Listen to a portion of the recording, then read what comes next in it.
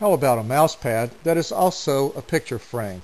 Our Frame It mouse pads let you keep photographs of your favorite people, pets, and places right at your fingertips. Simply place your photo underneath the clear hardtop window and enjoy it anytime you're at your computer.